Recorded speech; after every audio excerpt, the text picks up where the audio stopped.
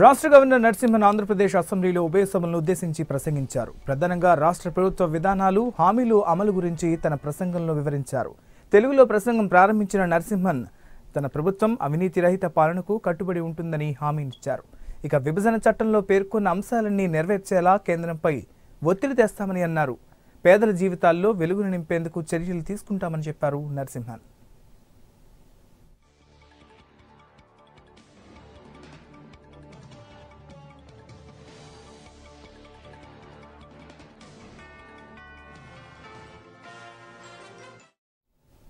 ఇక మరింత సమాచారాన్ని మా ప్రతినిధి ఎంపీ రావు ఫోన్ లైన్ అందిస్తారు ఎంపీ రావు విక్రమ్ ఈరోజు గవర్నర్ ప్రసంగంలో పూర్తిగా వైఎస్ఆర్సీపీ ప్రభుత్వం అధికారంలోకి రావడానికి కారణమైనటువంటి ప్రాధాన్యాలను గవర్నర్ ప్రసంగంలో పొందుపరిచారు ముఖ్యంగా రాష్ట్ర ప్రభుత్వం అధికారంలోకి వచ్చిన తరువాత వైఎస్ఆర్సీపీ తీసుకున్నటువంటి నిర్ణయాలు కానీ మేనిఫెస్టోలో పొందుపరిచినటువంటి హామీలను కానీ రాబోయే ఐదు సంవత్సరాలు సురేష్ విద్యాశాఖ మంత్రి ఆదిమూలపు సురేష్ ఉన్నారు ఒకసారి గవర్నర్ ప్రసంగానికి సంబంధించి వైఎస్ఆర్సీపీ అభిప్రాయం తీసుకుంది ఏంటి సార్ ఎలా ఉంది ఓవరాల్ మేము ఏమి ఏమి చెప్పామో మేనిఫెస్టోలో అదే చేస్తాం అదే చేసేది ఈరోజు గవర్నర్ గారి ప్రసంగంలో కూడా వారు కూడా అదే చెప్పారు మరి వారి ప్రభుత్వం ఈరోజు గవర్నర్ గారు మరి ఈరోజు ఈ యొక్క వైఎస్ఆర్ కాంగ్రెస్ పార్టీ ప్రభుత్వంలో ఈ ఏం చేశారు పది రోజుల పాటు ఏం చేశారని చాలా స్పష్టంగా చెప్పడం జరిగింది రాబోయే రోజుల్లో కూడా మేము ఏం చేయబోతున్నాం అనేది కేవలం మేనిఫెస్టోలో ఏం చేశామో అదే ఈరోజు మీరు దాన్ని మరి ఏదైనా అనుకోండి భగవద్ భగవద్గీత కానివ్వండి బైబిల్ కానివ్వండి ఖురాన్ కానివ్వండి అది పవిత్రమైన ఒక డాక్యుమెంట్ అది దానిని చూసే తప్పకుండా మేము ముందుకు పోయే పోయే దిశలో ఈరోజు ఒక ముందు అడిగేసాం మీరు చూసే ఉంటారు పది రోజుల పరిపాలనలో ముఖ్యమంత్రి గారు మరి వైఎస్ జగన్మోహన్ రెడ్డి గారు ఏవేవి చెప్పారో మీరు చూశారు ఏవేవి చేశామో కూడా మీరు చూశారు అవే రేపు రాబోయే రోజులు అమలు చేస్తున్నాం విద్యాశాఖకు సంబంధించి ఖచ్చితంగా విద్యా వ్యవస్థలో సమూలమైన మార్పులు తీసుకొచ్చే దిశలో ఈరోజు గవర్నర్ ప్రసంగం చాలా స్పష్టంగా ఒక దిశానిర్దేశం చేయడం జరిగింది సో ఇది వైఎస్ఆర్సీపీ అయితే ఈరోజు ఈ గవర్నర్ ప్రసంగానికి సంబంధించి మేనిఫెస్టోలో పొందుపరిచినటువంటి హామీలు ప్రధానమైనటువంటి హామీలతో పాటుగా నవరత్నాలకు సంబంధించినటువంటి అంశాలను కూడా ఈరోజు గవర్నర్ ప్రసంగంలో పొందుపరిచారు ప్రధానంగా రాష్ట్ర ప్రభుత్వం ఈ వైఎస్ఆర్సీపీ ప్రభుత్వం రైతుల ప్రభుత్వం అని ప్రూవ్ చేసుకుంటాము రాబోయే ఐదేళ్లకు ఐదేళ్లలో రైతులకు కావాల్సినటువంటి అన్ని సౌకర్యాలు కల్పిస్తాము ఇప్పటికే రైతులకు మేము నవరత్నాల్లో పొందుపరిచినట్లుగా ఏడాదికి పన్నెండు వేల ఐదు వందల సహాయంతో పాటుగా వైఎస్ఆర్సీపీ ఎమ్మెల్యే వరప్రసాద్ ఉన్నారు ఒకసారి మాట్లాడించే ప్రయత్నం చేద్దాం ఏంటి సార్ ఎలా ఉందనుకుంటున్నారు మేనిఫెస్టో ఇది గవర్నర్ ప్రసంగం అంటే మీకు మీ ప్రభుత్వందే అయినప్పటికీ కూడా అసలు మీ ఒపీనియన్ ఏంటి ఎలా ఉందనుకుంటున్నారు అంటే ఎక్కువ పేదవాళ్ళ అభివృద్ధి కొరకు బీసీలు ఎస్సీలు ఎస్టీలు మైనారిటీ అభివృద్ధి కొరకు ఉంది కనుక గ్రామాభివృద్ధి కొరకు ఉంది కనుక అది చాలా బాగుంది ఆ రోజు వైఎస్ రాజశేఖర రెడ్డి గారు ఎలా పేదవాళ్ళ సంక్షేమ పథకాలు పెట్టి ప్రజల గుండెల్లో ఉండిపోయారో అదేవిధంగా ఈ మా మన ముఖ్యమంత్రి గారు మా అధ్యక్షులు గారు కూడా అదే విధంగా పేదవాళ్ళని అభివృద్ధి చేస్తూ బీసీలు ఎస్సీలు ఎస్టీలు మైనారిటీస్ అభివృద్ధి కొరకు గ్రామాభివృద్ధి కొరకు ముందుకు వెళ్తున్నారు తర్వాత ఇప్పటివరకు రైతులను చాలా నిర్లక్ష్యం చేశారు కనుక వాళ్ళ మీద చాలా చక్కని ఫోకస్ పెట్టి మంచి విత్తనాలు ఇచ్చేటట్టు వాళ్ళకి అవసరాలకు ఆదుకునేటట్టుగా చేసుకుంటూ వెళ్తున్నారు అలాగే ప్రభుత్వ ఉద్యోగులను కూడా ఒకవైపు ఎందుకంటే వాళ్ళు వారు బాగుంటే వారు సేవ చేయడానికి అవకాశాలు ఎక్కువ ఉంటే కనుక నేను కూడా ఒక రిటైర్డ్ ఆఫీసర్ని కనుక ఆ విధంగా వాళ్ళని చూసుకుంటూ అన్ని విధాలుగా కాంప్రహెన్సివ్గా పేదవాళ్ళ అభివృద్ధి కొరకు ఉంటుంది కనుక తర్వాత అమ్మ ఒడి అన్నది నాకు చాలా సంతోషం అనిపిస్తుంది ఎందుకంటే మొదటిసారి భారతదేశ చరిత్రలో స్వతంత్రం వచ్చిన తర్వాత ఒక బిడ్డని పాఠశాలకు పంపించినందుకు తల్లికి ఈ విధంగా పదిహేను వేలు చొప్పున ఇయ్యడం అన్నది చాలా ఆదర్శపరంగా ఉంది ఎందుకంటే తల్లిదండ్రులు ఎప్పుడు కూడా ఆ విధంగా చైల్డ్ లేబర్ లేకుండా చేయడానికి వేతనాల కొరకు పంపించకుండా ఉండడానికి వాళ్ళ విద్యకు అది ఉపయోగపడుతుంది సార్ ఒక చిన్న విషయం పోలవరం ప్రాజెక్టు కానీ సాగునీటి ప్రాజెక్టుల విషయంలో ఇప్పటికే టీడీపీ విమర్శలు చేస్తుంది అయితే చాలా క్లియర్గా మెన్షన్ చేశారు ఒక టైం బాండ్ పెట్టుకుని మేము పోలవరం ప్రాజెక్టును పూర్తి చేస్తాము అని చెప్పేసి ఏ రకంగా ముందుకెళ్తున్నారు సార్ ప్రాజెక్టుల విషయంలో ఇప్పటికే ఈ రోజు న్యూస్ పేపర్లో చూస్తే మూడు వేల కోట్లు కేంద్ర ప్రభుత్వం పోలవరానికి ఇవ్వడానికి సిద్ధపడిపోయింది తర్వాత ఇది కేంద్ర ప్రభుత్వం నేషనల్ ప్రాజెక్టు కనుక ఆ రోజు చంద్రబాబు నాయుడు గారి అవసరం లేకోకుండా వాళ్ళ భుజాల మీద వేసుకుని పోలవరం ప్రాజెక్టును ఆ విధంగా చంపి ఉండకపోతే ఈ పార్టీకి పోలవరం ప్రాజెక్టు పూర్తయి ఉండేది ప్రజలకు అందుబాటులో ఉండేది జగన్మోహన్ రెడ్డి గారు మాత్రం తప్పనిసరిగా చెప్పిన సమయానికి అది పూర్తి చేస్తారు మాట తప్పని వ్యక్తి కనుక అటు మొట్టమొదటి నుండి కూడా అది మన ప్రాణంతో సమానం కనుక పోలవరం తొందరగా కేంద్ర ప్రభుత్వం నుంచి నిధులు తీసుకొచ్చి కేంద్ర ప్రభుత్వం బాధ్యత నూటికి నూరు శాతం జాతీయ ప్రాజెక్ట్ కనుక ఇస్తారు అది పూర్తి చేస్తారు రైతులకు ఉపయోగపడుతుంది తర్వాత ఇంటర్లింకింగ్ రివర్స్ కూడా చేస్తారు అన్ని ప్రాంతాలకు నీళ్లు వెళ్ళే చోటు చేస్తారు మా ప్రాంతాలకి రాయలసీమ వైపు కూడా నీళ్లు వస్తాయి వెంటనే గోదావరి కృష్ణా కృష్ణా నుంచి పెన్నా పెన్నా నుంచి కావేరి వరకు తీసుకువెళ్తారు ప్రజలకి తప్పనిసరిగా రైతులకు ఉపయోగపడే విధంగా గ్రామాలు ఉపయోగపడే విధంగా యువకులు ఉపయోగపడే విధంగా మహిళలు ఉపయోగపడే చేస్తారు వారికి అభివందనలు తెలియజేస్తూ వారు ఆరోగ్యంగా ఉండి ప్రజల సేవ చేసుకుని ప్రజల గుండెలో ఉండిపోవాలని చెప్పి కోరుకుంటున్నారు సార్ థ్యాంక్ యూ సో ఇది సాగునీటి ప్రాజెక్టుల మీద కానీ రాజధాని విషయంలో కానీ గత కొంతకాలంగా టీడీపీ విమర్శలు చేస్తూ వస్తుంది అయితే ఈ విమర్శలను తిప్పికొట్టేలాగా గవర్నర్ ప్రసంగంలో పోలవరం ప్రాజెక్టు విషయంలో చాలా స్పష్టంగా పొందుపరిచారు పోలవరం ప్రాజెక్టును ఒక టైం బాండ్ ప్రాజెక్టుగా పెట్టుకుని ప్రాధాన్యత క్రమంలో మాకు పోలవరం ప్రాజెక్టు అత్యంత ఇంపార్టెంట్ ఇంపార్టెంట్ ప్రాజెక్టు ఖచ్చితంగా పోలవరం ప్రాజెక్టును ప్రాధాన్యత క్రమంలో పూర్తి చేస్తామని చెప్పి ఈ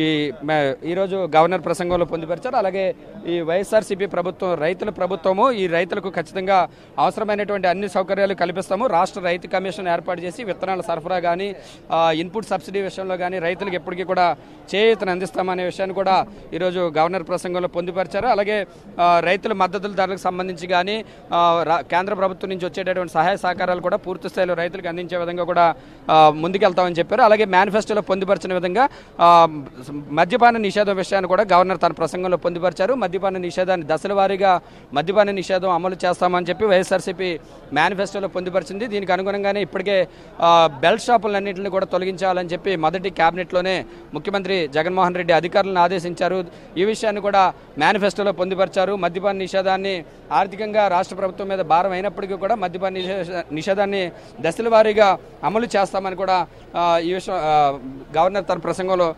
పొందుపరిచారు ఇక అలాగే మిగిలిన టీడీపీ నాయకులు వస్తున్నారు కొంతమందిని మాట్లాడించే ప్రయత్నం చేద్దాం టీడీపీ ఎమ్మెల్యేలు వస్తున్నారు అసలు గవర్నర్ ప్రసంగానికి సంబంధించి ఎమ్మెల్సీ బుద్ధ వెంకన్న వస్తున్నారు సార్ ఒకసారి గవర్నర్ ప్రసంగం మీద ఏంటి సార్ ఏమనుకుంటున్నారు ఎలా ఉంది ఇప్పుడు వచ్చినటువంటి కొత్త ప్రభుత్వం మరి దీని మీద ఎక్కువగా నవరత్నాల గురించే మాట్లాడారు తప్ప మిగతా ఇరిగేషన్ ప్రాజెక్టులు కానీ వాటికి ఇవ్వాల్సినటువంటి ప్రాధాన్యత కానీ లేదా నదుల అనుసంధానం కానీ మరి వీటి గురించి అన్నీ కొద్దిగా కన్ఫ్యూజ్గా ఉంది అంటే ఓన్లీ నవరత్నాల మీదే మాట్లాడారు కాబట్టి కొత్త ప్రభుత్వం కాబట్టి మేము కూడా వేచి చూసే ధోరణిలో ఉన్నాం రైట్ సో ఇప్పటికిప్పుడు ప్రభుత్వం మీద విమర్శలు చేయదలుచుకోలేదు గవర్నర్ ప్రసంగానికి సంబంధించి నెక్స్ట్ అసెంబ్లీ బడ్జెట్ సమావేశాలు ఉంటాయి కాబట్టి ఒకసారి మంత్రి బొత్స సత్యనారాయణ ఉన్నారు ఒకసారి మాట్లాడించే ప్రయత్నం చేద్దాం సార్ అనేక సమస్యల మీద ఇవ్వలేకపోయింది సో నవ ముఖ్యంగా నవరత్నాలకు సంబంధించినటువంటి అంశాలను గవర్నర్ ప్రసంగంలో పొందుపరిచారు బొత్స సార్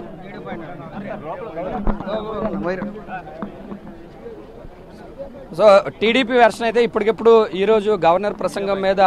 విమర్శలు చేసే ఆలోచనలో కూడా తెలుగుదేశం పార్టీ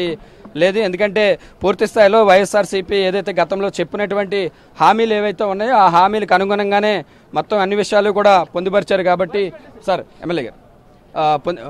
నర్సరాపేట ఎమ్మెల్యే ఉన్నారు సార్ చెప్పండి ఎలా ఉందండి గవర్నర్ ప్రసంగం మీద ఏమనుకుంటున్నారు చాలా చక్కగా ఉంది మా నవరత్నాలు అన్నీ కూడా ఇంప్లిమెంట్ చేస్తూ ఉన్నాం నవరత్నాల కార్యక్రమాలన్నీ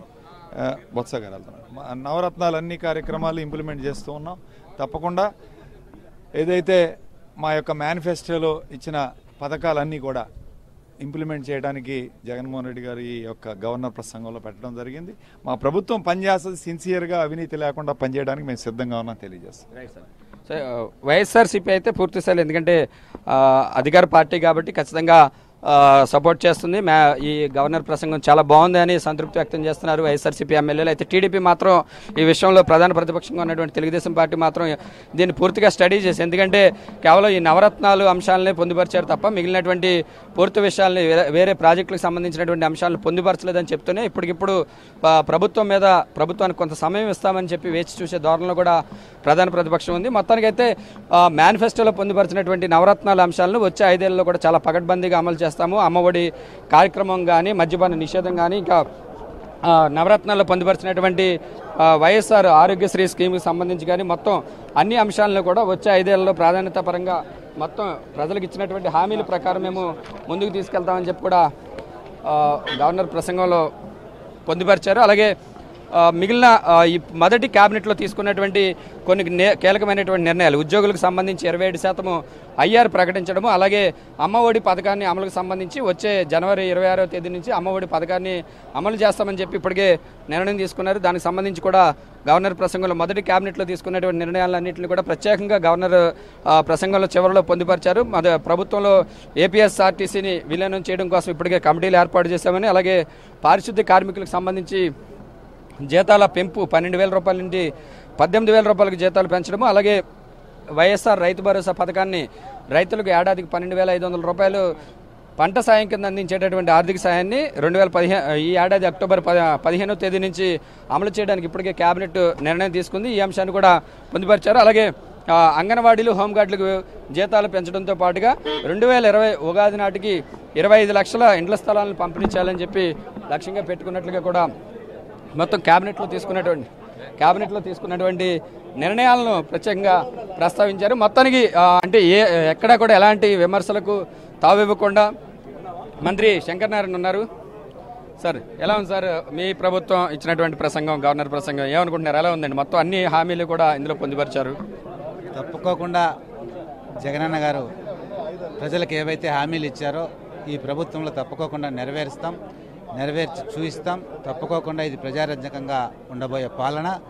ఇందులో ఎలాంటి మోసాలకు కానీ ఎలాంటి అవకతవకలకు కానీ తావు లేకోకుండా జగన్మోహన్ రెడ్డి గారి నాయకత్వంలో తప్పుకోకుండా ప్రజలకు మంచి జరుగుతుంది బీసీల సంక్షేమానికి సంబంధించి ఏ రకంగా వెళ్ళబోతుంది సార్ ప్రభుత్వం బీసీలకు పెద్దపీట మరి అలాగే ఎస్సీ ఎస్టీ మైనారిటీలకు సంబంధించి కూడా అందరికీ బడుగు బలహీన వర్గాల ప్రజలు ఎవరైతే ఎవరైతే ఉన్నారో వాళ్ళందరికీ కూడా ఈ ప్రభుత్వంలో పెద్దపీట వేయబడిందనే విషయం మీ అందరికీ తెలిసిందే తప్పకోకుండా ప్రజానీకానికి ఎవరైతే బడుగు బలహీన వర్గాలకు సంబంధించి ప్రజానీకం ఉన్నారో వాళ్ళందరికీ కూడా ఈ ప్రభుత్వం మంచి చేస్తుంది తప్పకోకుండా మంచి జరుగుతుంది సో ఇది మనం చూస్తున్నాం మంత్రుల వెర్షన్స్ కానీ మంత్రుల ఒపీనియన్స్ కానీ వైఎస్ఆర్సీపీ ఎమ్మెల్యేల అభిప్రాయాలు కానీ తెలుగుదేశం పార్టీ ఎమ్మెల్యేలు కొంతమంది మాత్రమే బయటకు వచ్చారు ఇంకా ప్రతిపక్ష నేత చంద్రబాబు నాయుడు అసెంబ్లీ లోపలే ఉన్నారు ఎమ్మెల్యేలతో పాటు చర్చిస్తున్నారు దీనికి సంబంధించి ఈరోజు ఇచ్చినటువంటి గవర్నర్ ప్రసంగం మీద కొంచెం స్టడీ చేసిన తర్వాత ప్రభుత్వం మీద ప్రభుత్వాన్ని విమర్శించడం మొదలు పెడదాము ఇప్పుడే ఇప్పటికిప్పుడే ప్రభుత్వం మీద ఎదురుదాడికి దిగితే ప్రతిపక్షాన్ని కూడా బ్యాడ్గా అనుకుంటారనే ఒక ఆలోచనలో కూడా తెలుగుదేశం పార్టీ ఉన్నట్లుగా తెలుస్తుంది మొత్తానికి ఎక్కడా కూడా ఎలాంటి విమర్శలకు తావు ఇవ్వకుండా ఏదైతే మేనిఫెస్టోలో పొందుపరిచినటువంటి హామీలను అన్నింటినీ కూడా ప్రస్తావిస్తూ అలాగే మొదటి క్యాబినెట్లో అనేక మొత్తం దాదాపుగా అన్ని వర్గాలకు కూడా లబ్ధి చేకూర్చే విధంగా మొదటి క్యాబినెట్లో తీసుకున్నటువంటి నిర్ణయాలను దాదాపు పది పదిహేను అంశాలను ప్రస్తావిస్తూ కూడా మొదటి క్యాబినెట్లో తీసుకున్నటువంటి అన్ని నిర్ణయాలను కూడా ప్రస్తావిస్తూ ఈరోజు గవర్నర్ ప్రసంగం